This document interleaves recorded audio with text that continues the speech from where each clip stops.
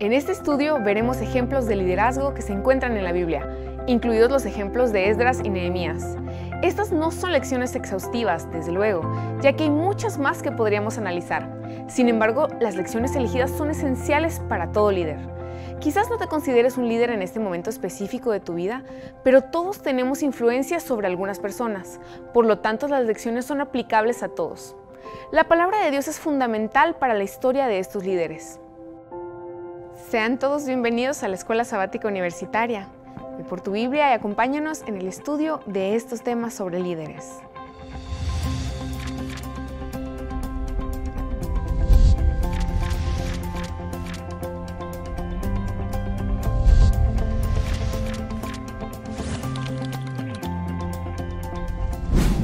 Gracias por continuar con nosotros y antes de comenzar a estudiar la palabra de Dios, me gustaría pedirle a Isaí que nos dirija en oración. Claro que sí. Amante Padre Celestial, te estamos muy agradecidos porque hemos llegado al final de un año más, al final del el estudio de esta palabra y te queremos suplicar, Señor, que tu Espíritu nos ilumine para extraer las lecciones acerca del liderazgo de tus siervos Estras y Nemías. Te lo agradecemos y pedimos en el nombre de Cristo Jesús. Amén. Amén.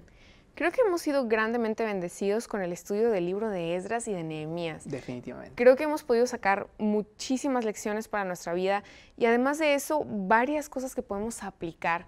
Y creo que esto es algo muy importante. Personalmente yo no había tenido la oportunidad de profundizar tanto en estos dos libros y he quedado gratamente impresionada y ha tenido muchos aspectos positivos en mi vida. No sé en, en la de ustedes, pero hay algo que especialmente se trata en estos dos libros y es el liderazgo. Y creo que hay muchas cosas que podemos tomar desde aquí.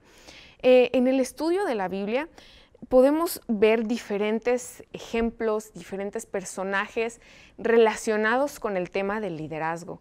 Especialmente vimos eh, o pudimos leer o estudiar sobre algunos de ellos. Entre ellos eh, vimos sobre Pedro, sobre Roboam, sobre Josías y me gustaría que pudiéramos mencionar un poquito sobre la influencia que ellos ejercieron en el pueblo de Israel desde el puesto en el que se encontraban. Pues todos estuvieron pues, en puestos de influencia, eran lo que ahora en el siglo XXI le llamamos influencers, era alguien que tenía, pues, era una figura pública. Roboam y Acab, dos reyes, la máxima autoridad, después de Dios, claro, la máxima autoridad humana en el pueblo de Israel. ¿Qué pasó? Perdieron el rumbo y fueron una influencia negativa. me parece a mí que eh, cuando uno es llamado a estar en una posición eh, importante de influencia a cargo de un grupo, eh, uno tiene que tener cuidado con las decisiones personales. Habíamos visto en el estudio anterior que un importante problema había sido el casamiento ¿no? con eh, personas que no compartían sus mismos propósitos, sus mismas visiones, su misma espiritualidad. Y al menos en el ejemplo de acá, pues cometió ese, ese error que lo llevó a ir cada vez más y más abajo, porque siempre que él intentaba seguir alguna disposición divina, su esposa estaba ahí para decirle, no, recuerda que, yo, que soy más importante en tu vida que tu Dios, así que, y en mi vida el más importante no eres tú, es Val. Así que tienes que hacerme caso a mí. Y pues tristemente las decisiones personales que uno tome como líder afectan al grupo. Claro, este, también me gusta mucho como muestra una lista de líderes la responsabilidad que tienen. Por ejemplo, vemos que si faltaba este asonemías, el pueblo sufría. Entonces esa gran capacidad, y no solo en hombres, también mencionan a Débora, una mujer fuerte y valiente que dirigió toda una guerra dijo, bueno, si esto no es por nosotros, es por Dios. Y tenía esa capacidad, o sea, no solo los hombres, también nosotros como mujeres podemos liderar muy bien y ser de gran influencia. A propósito, eh, eso me recuerda eh, la, diferencia ¿no? entre un jefe y un líder. Eh, el jefe pues va hasta arriba, ¿no? esperando que los demás hagan el trabajo, les da órdenes, les dice qué hacer y pues se sienta ¿no? a esperar un resultado. Pero el líder como Débora va al frente, va al campo de batalla, se arremanga eh, las mangas, se moja los brazos, se ensucia, tal como Nemías. Cuando eh, fue un momento de construir, él dijo, ah, pues que mi parte, pues alguien más la construya, ¿no? Ya que están construyendo ahí, vecino, pues yo soy el jefe, así que voy a hacer otras cosas importantes. No, Nehemías construyó la parte enfrente de la casa donde se estaba quedando. Nehemías estuvo ahí en el muro trabajando, sudando. Nehemías se literalmente eh, se empapó de la misma situación para sacar esa, esa, parte de liderazgo tan importante. Creo que muchas personas, Dios eh, ha dado el don del liderazgo tal vez no a cualquiera, porque no todos tienen la capacidad, pero muchas personas Dios les ha dado. Ahora, si usamos ese don para el bien, bueno, qué bendición podremos ser, ¿no? Si usamos ese don para el mal, podemos acarrear grandes desgracias sobre nosotros mismos y sobre las personas que nos rodean. El ejemplo de Acab, por su negligencia, por su falta, bueno, muchas personas murieron de sed en esos tres años que, de la sequía muchas personas, este, pues, se olvidaron, se olvidaron de Dios, incluso llegaron a, cometer homicidios en contra de, los profetas, de las, de, las, de las personas que Dios había puesto ahí. A, mí, perdón, a mí me agrada poder recordar que la Biblia tiene ejemplos tanto buenos y malos, ¿no? De lo que es ser un líder. Y eso nos ayuda a ver qué cosas fueron las que hicieron mal, que los hicieron malos líderes y malos ejemplos para el pueblo de Israel. También qué cosas hicieron aquellos buenos líderes que pudieron ayudar a que el pueblo de Israel siguiera a Dios. Esas son cosas que podemos aplicar. De hecho, me llama también la atención de la lista ¿no? que se presenta a lo largo de las escrituras. Eh, a mí me, me maravilla, me motiva el hecho de que Dios puede sacar líderes de donde haga falta. Es, era un copero del rey, venga, tú vas a terminar lo que nadie más pudo terminar. Eh, profetas como, por ejemplo, Amós, que ah, te dedicas a, cuidar ovejas, bueno, eh, venga, ¿no? Eh, que te dedicas a, este, a bajar higos, bueno, venga. Pedro, que tu trabajo es ser un pescador, simplemente estás ahí, bueno, venga, vas a ser la persona más importante de la iglesia, de la iglesia naciente. Eh, a mí me maravilla la, capacidad de Dios para, de algo que parece que no va a dar resultados, darle las herramientas necesarias, el poder de su Espíritu Santo y sale, sale un líder. Claro, en la Biblia se dice que en nuestra debilidad se perfecciona el poder de Dios. O sea, no es por nuestras mismas fuerzas ni nuestra capacidad. Aunque estas personas eran muy inteligentes, también se humillaban ante Dios y eso es que los hacía más poderosos todavía. Algo que mm, me gustaría que podamos tomar en consideración es que estos líderes, su influencia era tan grande que podían descarriar al pueblo de Israel porque sabemos que era un pueblo que no era suficientemente firme. Y podemos leer, me gustaría que me acompañaran a Primera de Reyes 26, 34. Podemos leer, por ejemplo, el ejemplo, perdón, 15, 26 y 34, disculpen. Podemos leer el ejemplo de Nadab y Baasa. Mm algunos se acuerdan de, ellos. Dice que ellos anduvieron eh, e hicieron lo malo delante de los ojos de Jehová y eh, menciona que lo que hicieron fue que hicieron que el pueblo de Israel se saliera y lo hicieron pecar. Entonces, eh, esto lo que nos indica es que podemos, o sea, tenemos el, el, poder, entre comillas, ¿no? Desde donde estemos, para ejercer una influencia positiva, pero también una influencia negativa. Por ejemplo, eh, Aarón, el hermano de Moisés, eh, era el líder espiritual de, esa nación que se estaba formando. Sin embargo, presionado un poco aquí, un poco allá, él mismo propició todo para descarriar al pueblo a unas cuantas semanas de que Dios les había dado su pacto escrito, ¿no? Entonces, eh, también es un llamado de atención para las personas que han sido llamadas a trabajar en el ministerio eh, de tener cuidado, porque incluso ellos que han sido comisionados por Dios, por la iglesia, pueden también descarriar al pueblo. A mí me gustaría preguntarles, ¿qué efecto consideran ustedes que puede tener nuestra influencia en la vida espiritual de los que nos rodean? Wow. Eh, pues es que en cualquier momento puede ser de bendición o una influencia negativa para las personas. Creo que incluso con tu manera de caminar, de vestir, la manera como te expresas, la manera como hablas, eh, la educación que tú muestras, todo eso puede puedes ser eh, de una influencia tanto positiva como negativa. Hay que recordar algo, eh, Dios nos ha llamado a ser embajadores de la luz. Eh, un, hecho curioso ¿no? con la luz es que uno eh, enciende algo, los fotones empiezan a navegar dentro del espacio y no hay manera de detenerlos. No, no hay una manera de que la oscuridad se trague a la luz. Eso no es posible. Sin embargo, a veces en nuestra vida espiritual, en nuestro diario vivir, podemos ser una luz devorada por las tinieblas, porque a veces nuestra influencia espiritual, o mejor dicho, nuestra vida y comunión espiritual es tan pobre que nuestra influencia espiritual acaba alrededor de nosotros. Y las personas que nos ven dicen, bueno, si él es cristiano y no puede, pues como yo que no le he entregado mi vida a Cristo, él ya le entregó su vida a Cristo y, no puede lidiar con esta situación, pues cuanto menos yo. Entonces, tenemos una responsabilidad bastante importante de demostrar ser eh, testigos ante, no solo ante las personas que nos rodean, sino ante todo el universo, que Satanás se equivoca y que realmente alguien puede guardar la ley de Dios como se requiere. Claro, si vemos, recordamos el tabernáculo de Moisés en el santuario, el candelabro. El candelabro en el lugar santo era el que iluminaba el lugar. Entonces, eso se compara a nuestra vida espiritual la luz que damos, porque en donde estemos, la luz no debe estar debajo de una mesa o debajo de una cama, siempre debe estar al frente, iluminando.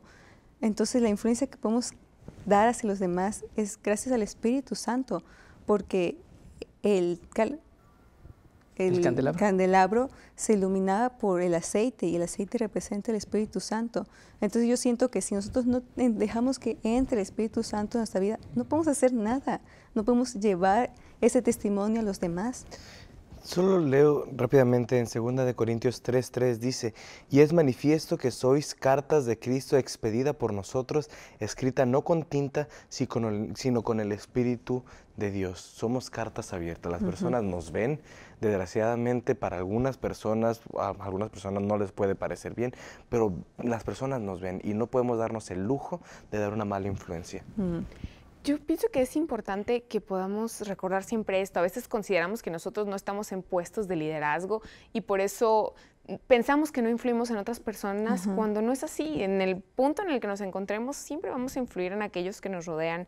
Y esto es algo importante que, que, necesitamos recordar.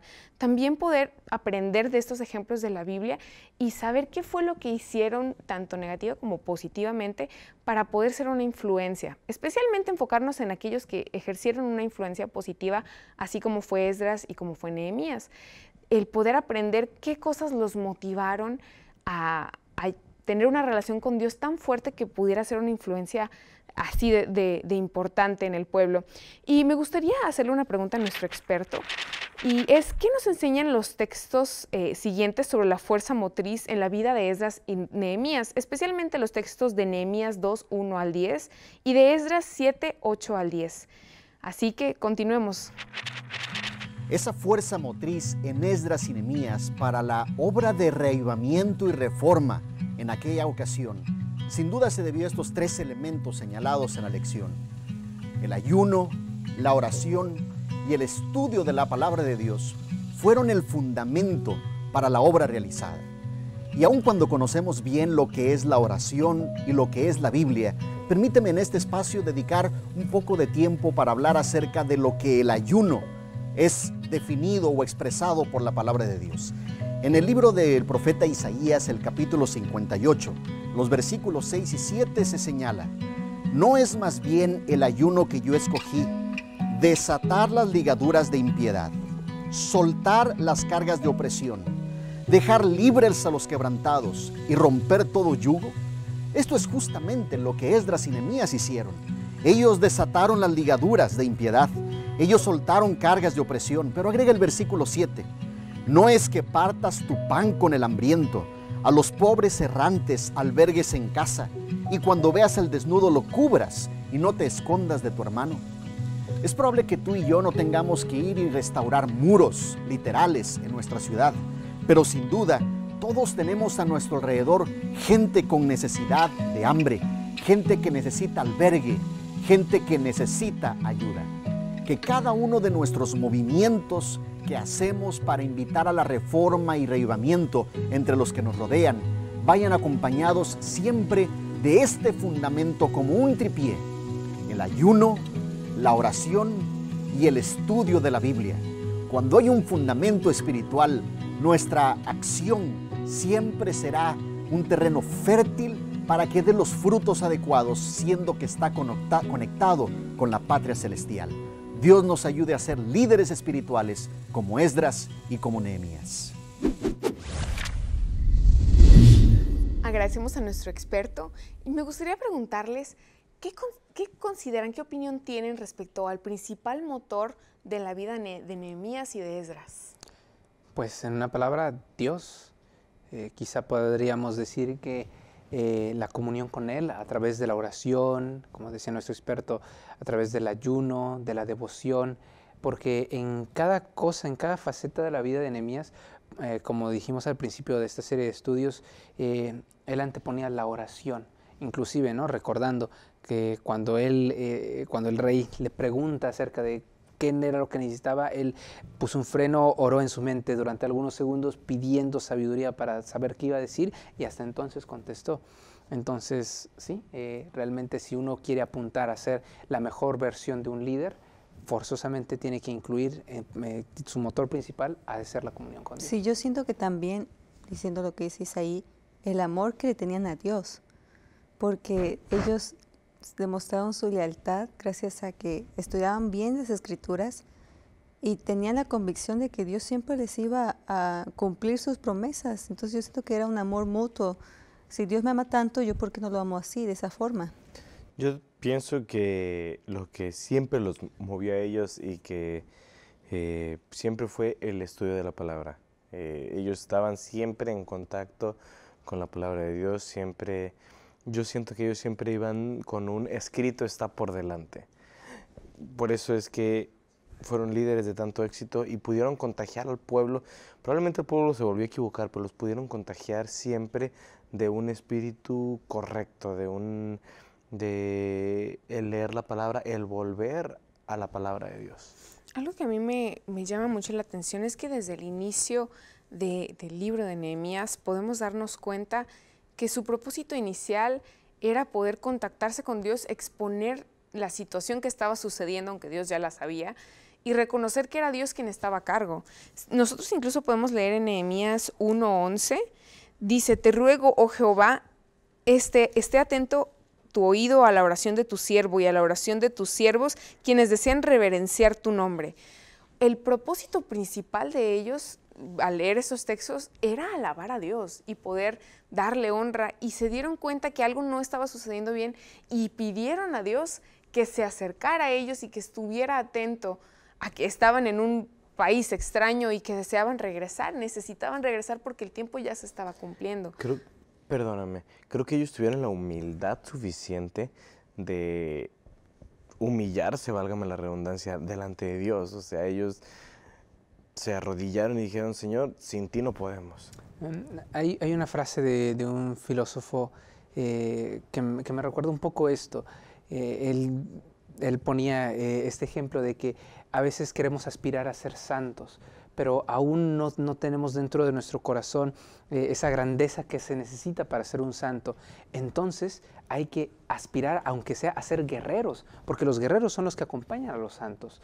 y francamente, más Nemías que Esdras, Nemías era un guerrero, a él no, no, le, no, le, importaba nada con tal de estar del lado de la justicia. Eh, ya hemos visto en estudios anteriores que eh, tenía un, un, carácter que solo admitía la perfección, solo admitía la justicia, solo admitía lo más alto, lo más justo. Y no se andaba con rodeos. De hecho, si vemos el último versículo de Nehemías 13, termina con, acuarta de mí, Dios mío, para bien. O sea, para mí me impacta mucho de que se pone que yo sirva siempre para bien. En tu servicio estoy, úsame, utilízame, pero para bien. A mí me impresiona mucho, eh, yo creo que de, todos los textos que pudimos leer, en, especialmente en Nehemías, hay unos cuantos que a mí me, de verdad me llaman demasiado la atención y me parece que es el espíritu del motor de Nehemías, especialmente en Nehemías 4 del 9 en adelante, podemos ver que se iban a enfrentar con los pueblos cercanos porque se estaban oponiendo a que ellos reconstruyeran la, muralla de Jerusalén. Entonces ellos oraron a Dios y le pidieron que estuviera con ellos y que les protegiera y les permitiera cumplir su voluntad. Y si nosotros vemos en el versículo 15, menciona que Dios ya había desbaratado el consejo de, estos enemigos y más adelante podemos ver que Dios les dio la, la fuerza para seguir adelante y para trabajar como debían hacerlo. Y si nos damos cuenta, no era algo sencillo. Dice en el versículo 17 que con una mano estaban trabajando en la obra, estaban construyendo y con la otra tenían la espada en mano. Esto me parece algo impresionante, cómo también el liderazgo de, en este caso de Nehemías, era tan fuerte, era tan, tan derecho, tan justo, tan dedicado hacia lo que se tenía que hacer, que inspiró al pueblo a orar y a pedirle a Dios su, compañía, que Dios les pudo inspirar a ellos para que hicieran las cosas de forma correcta y de una forma impresionante que yo creo que a todos nosotros nos inspira hoy en día. Sí, este, ellos tuvieron la convicción. Es, es una palabra muy importante. Eh, ¿Cuántos de nosotros podemos decir que tenemos la convicción, la misma convicción que tenían Esdras y Nehemías, la convicción de que iban a hacer la voluntad de Dios hasta las últimas consecuencias. Mm, yo me imagino que si en algún punto un ejército los atacaba, ellos tenían que dar su vida por reconstruir la, muralla, ellos lo iban a hacer con gozo. Pues la seguridad, así como los tres israelitas en Babilonia que dijeron, vamos a quemar en el horno del fuego, pero ellos firmemente dijeron, nos va a librar Dios y sépase que si no nos libra, de todas formas no nos vamos a inclinar. Y así yo siento que eran estas dos personas firmes, seguras, de que Dios iba a estar con ellos. Exacto, me, me, parece brillante que alguien pueda tomar una resolución y ampararse bajo la luz del Espíritu Santo. Creo que especialmente con lo último que acabas de decir, podemos ver el caso de Esdras. ¿Sí? Me gustaría que nos acompañaran en Esdras 8, 21 al 23.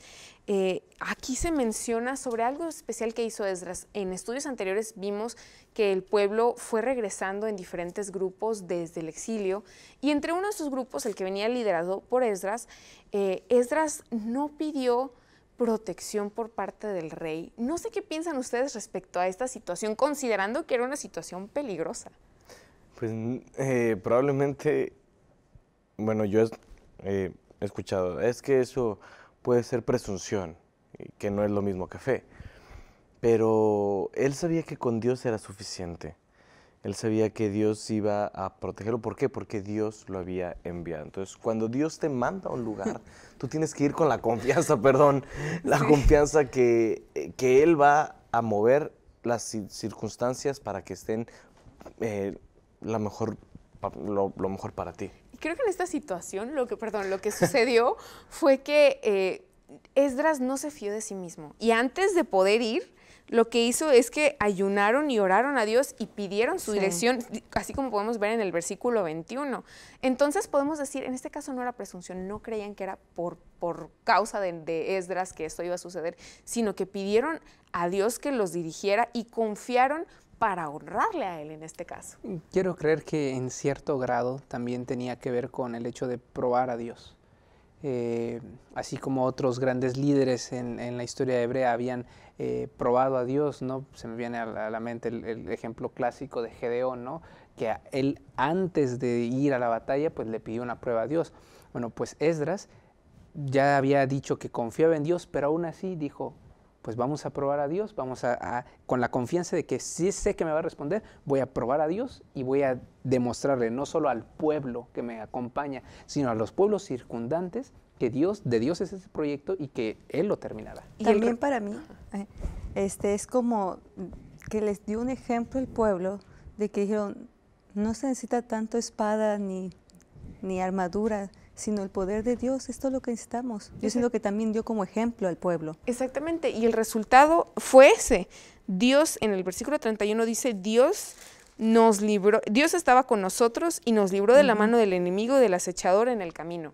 Siento que era un camino peligroso y ya sabían que se les iba a oprimir y que habían pueblos, eh, era un camino largo, era mucha gente, iban a presentar dificultades, pero Dios les protegió.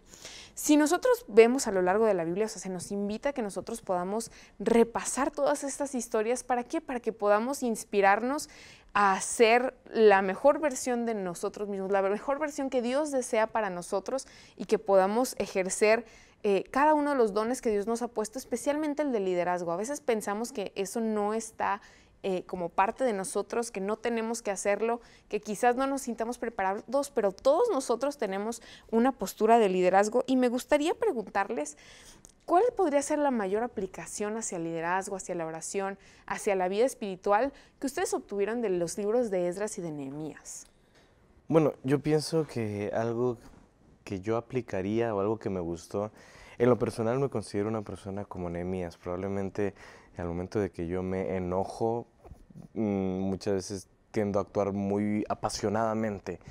Pero aún así, aunque para muchas personas esté mal, si tú lo pones, esta que podría ser una debilidad, lo pones en las manos de Dios, es, Dios puede usar aún esa debilidad para el, para el engrandecimiento personal y de las personas que te rodean. Puede usar aún un carácter fuerte, demasiado fuerte, para, para, para bien.